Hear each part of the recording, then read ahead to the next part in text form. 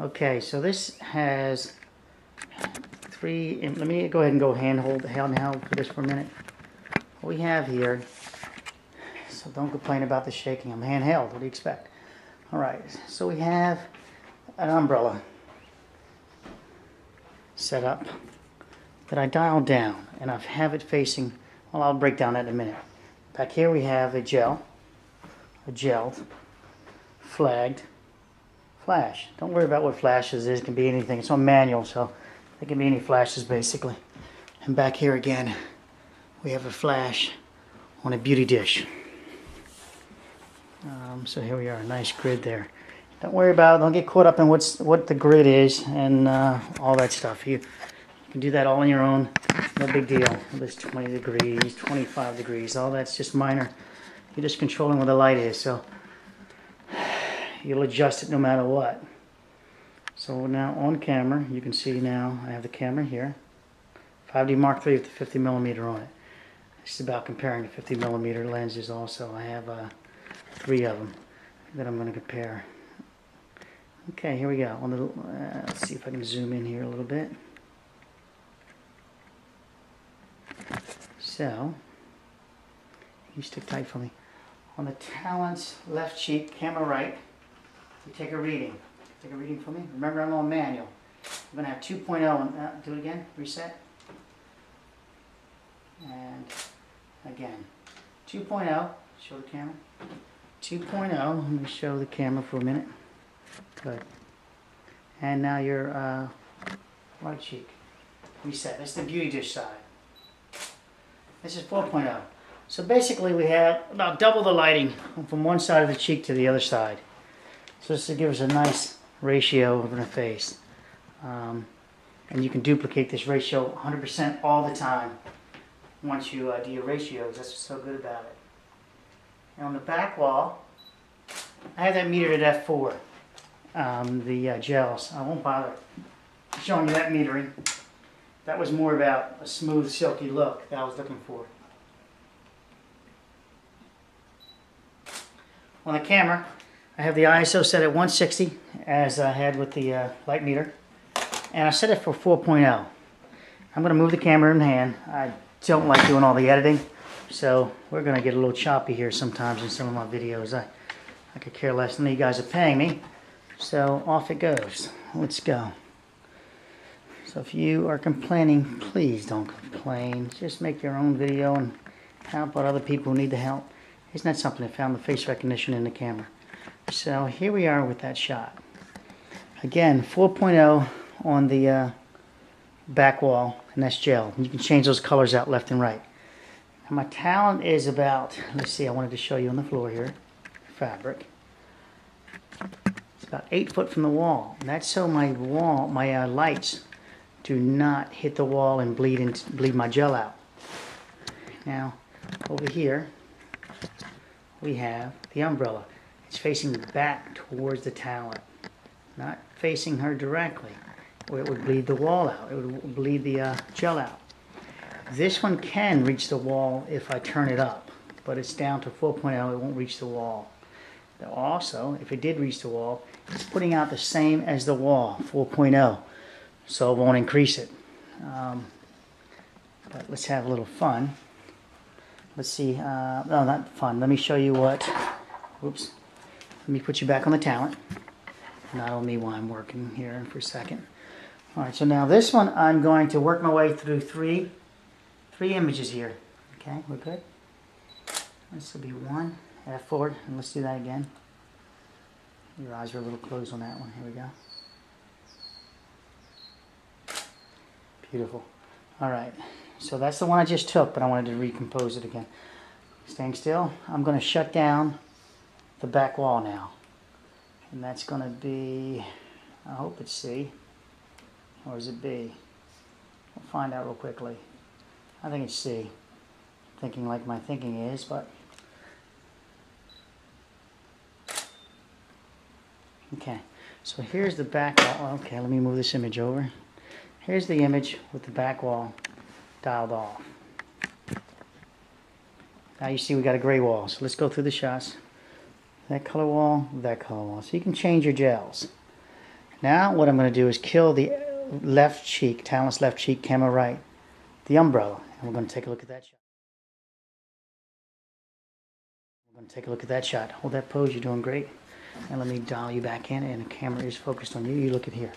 Both of them are focused on you. Alright, so now I'm going to kill the umbrella, which is B. Now we're going to take the shot just with the beauty dish. Okay. So with, with Beauty Dish, sorry I've got other things I'm cracking in here. With the Beauty Dish, now we have the lighting that's coming on there. Now we already know what that shadow is, represents. This is 4.0 on this side, 2.0 on this side. So we already know to get rid of that shadow, or to at least make it look like this, with a little bit of slight shadow on the, uh, on, uh, coming off the talons, just to make it a softer light and it makes it a little directional when you have that shadow. It says the light's coming from that direction. All right, here it is at, great. Here it is, let me turn this. Again, 4.0, nothing on this side right now, just beauty dish. There's the light in the back wall. So now, what we do is, I'll show you what it looks like. Back to you again. Let's come back to you. Don't hurt me, people, don't hurt me. It's really zoomed in tight on you, so keep looking good. Alright, so we're going to get rid of the, uh, the beauty dish. Turn it off. And then I'm going to go to B, which is the, the um, umbrella, and shoot it alone. And now I'll show you what the umbrella looks like. Let me dial this in for a second. Now this is what the umbrella shot looks like. As you can see, this is 2.0, barely making it onto the other side of the face. Um, real dark, but it's giving a nice, as you can see, it's going to give a nice, nice tone to her, to that side, without just blowing it all out. So now we will do that too, though. But let's work our way up to it. So what I'm showing you is that you don't have to um, go crazy over all your lights. You can add them one at a time. And the... Uh, sorry. The light meter is pretty simple to use. You're going to set it, let me see if I can bring it out here, arm's length. You're going to set this light meter to ISO, 160 in this case. You're going to have your dome over because it's going to be reading flash. You're going to set the flash settings. Simply press the button on this, the Polaris, but all of them pretty much the same. And you're going to take a reading. Now, give me a reading. Well, I'm going to show you. I'm going to take a general reading of everything. I'm going to turn them all back on again. Let's go ahead and do the back wall first. Let's, that's, uh, that's C. So you can hold that for a second. Don't, you can put it down. Um, and let's take reading C. Here's the back wall only. And it's going to look pretty rich, as you'll see. The, like I said, the light, when it comes out, you are going to get some bouncing around in the room. Hmm. Doesn't look as rich as uh, I can see it on my monitor, of course. Right about there. And you can see the gel did not. And the reason why you want to shoot your gel separately, like I just did, you want to see if the gels are coming in on your talon's face, if it's bouncing off the ceiling, etc. It's a little back there. I'm not worried about that. Um, let's go ahead and turn that back on while I'm talking at least. So it's a little back there, but not much. So now when I bring in the other grid on this side and the umbrella on this side. I usually don't use umbrella for fill light, but I'm thinking what people might have. As far as this grid goes, you can, um, zoom back out. I'm on you now on this one. So um, as far as umbrellas go, I mean, as far as uh, grid goes, uh, you can get these pretty reasonably, 100 plus dollars. You don't have to spend hundreds of dollars on it. Hundreds of dollar guys do not do anything separate. There's nothing special about them. Some of them are white lined, some of them are silver lined and all that. Um, I've used them all. I don't see the difference in a lot of this equipment that you if you dial your uh, your lighting correctly. But I don't like shoot-through umbrellas. They they're hot. They create hot hot hot spots. Okay. So now this is with everything on. Let me get a reading in front. Press it on, and we didn't do a reading in front. Okay, good. So this is what the camera is saying in general. 4.0. Let me see. Let me see it. Show the camera right here. 4.0 and 4.0 and a half. So in general, that's what it's seeing. And if you remember, that is what we metered at. That is what we metered the Talent's um, right cheek, camera left. That's what we metered at to do the full. Sorry for so many times saying that's what we metered at. Just stalling, obviously. All right, so 4.0, 2.0, 4.0 in the back wall. Light meter is the way to go on this one. Now watch what I, I'm going to show you a nice little trick that most of these guys don't do. Say I, I don't like it. I wish it was generally all all lower or all brighter. Um, watch how simple this is. You're going to love it. I'm doing a little suspense on you. Just trying to, you know, I just hate giving away all my goodies, but I'll give this one away. You don't have to go away, turn it, to go around turning this one and that one and this one. And you don't have to do it through ISO. Um, since the back, since the Talon is, we're not worried about the background. There's nothing we're going to bring up in the background by going to different, different apertures. We're going to, and I'm going to do this now. Good. Now I'm going to make it darker. To make the, everything darker. Let's see if I can get, make sure that's clear to you. Let me get rid of the uh, one image with the, um, okay, here we go. Just got rid of one image with the light meter. So trying to review for you. All right, I didn't click the camera again. You heard that. All right, let's turn. Let me zoom in. All right, so this is the image before. Let it focus. I'm waiting. Come on. Both of these are Canon cameras zooming. Okay. See if we can help it out. Let me zoom out a little bit more. There we go. Zoom back in. Oh, lost it. Looks like it's as tight as we're going to get. This is the one I took previously, and this is the one I just took. As you can see, it gets a little darker, and a little richer. I'll zoom in. So that doesn't, that and the ratios are still going to stay the same, left and right. But one's brighter. As you can see, the shadows are just the same still. Highlights, less highlights. But still, less rich highlights. Now I'm going to take it even further. We're going to go. Okay, look at the, look at this camera. Sorry, sorry for not telling you in advance. All right, here we go. And I, I was at um, 5.0.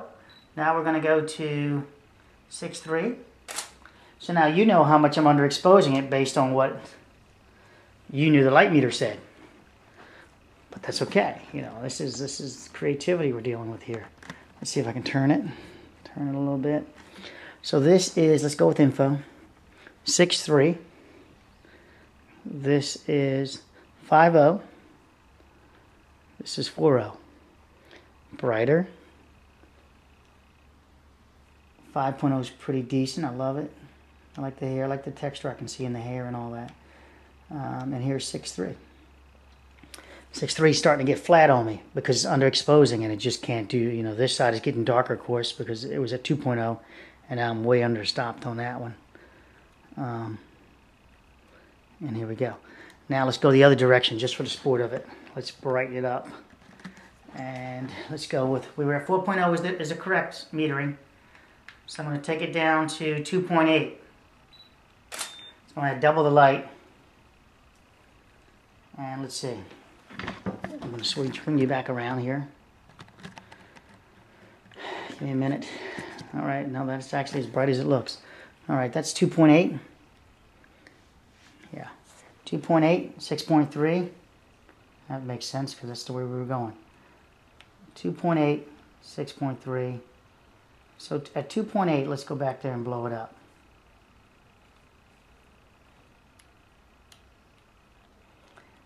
I like when you overexpose things a lot. It youngs the face up without too much software using.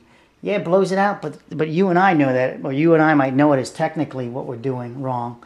Um, but the talent, they love it. They look so much younger and beautiful, more beautiful than they are. You can see my two catch lights in here are, oops. Let's see if I can do this. It's kind of tough when you're leaning over and trying to think here. See the catch lights? Beautiful. The face is nice.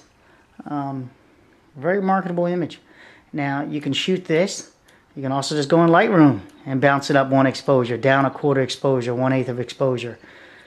Uh, I would probably go with the uh, uh, if I was going to be pushing it around like that, The 4.0, because you're going to get a sharper image. 8.0 would be your outstanding image, which um, is kind of cool. Now, real fast, if I can do this fast, oh, I'm going to be cutting this video off. Let me think about this. The sharpest part of Canon lenses are 8.0. That's the way they use their scales. We don't care about that because we don't want sharpness. If we did sharpness, we'd be bringing out all the details. It's a finger. All the details. Who wants details in a face? If you're shooting product photography, yeah, you want those details. But don't go up to f8. Don't go to f11. You don't want this sharpness. You want it to be a little dull. Here are the images that you previously saw in camera as I was reviewing. You can stop anytime and go backwards and figure out which lights are dropping in and coming back in per the review. Um, like that one there had no no backlighting at all. And then you're seeing the gray wall. This is no uh, key light. The grid light's off. Back wall on only.